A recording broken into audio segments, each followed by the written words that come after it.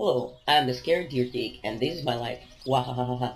First about me, I was born on April 23rd, 2013 in London. Now let's continue with my hobby, spreading Lyme disease. Lyme disease is caused by Ixodes scapularis, or just deer tick, which is me. My hosts can be boys, girls, grandmas, grandpas, peoples, believers, and more. But here's a fact. Lyme disease happens only if I at the human for at least 36 hours, but Justin Bieber maybe 37 hours. I bite a deer, get infected with Borrelia bacteria, and transport it to my host. There are a couple symptoms to Lyme disease. Here are some. Bull's eye rash, fever, chills, fatigue, body ache, headache. Some later signs are joint pain, neurological problems. Rarely people will have these symptoms. Heart problems are inflammation. Antibiotics commonly used for oral treatment.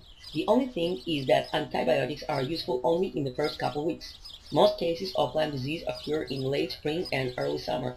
Approximately 95% of all cases of Lyme disease occur in the Northeast and the upper Midwest of the United States. For example, take Jim Young. He lived with my disease for already two years and didn't know until now, and he is still struggling today. 300,000 people get infected with Lyme disease each year. For sure, I asked the elder tick, and he said our little friends Borrelia bacteria invade red blood cells, produce offspring, and hide in seeds, a little sac made of protein or other materials. So better hide from me and my brothers. Bye. Ha ha ha.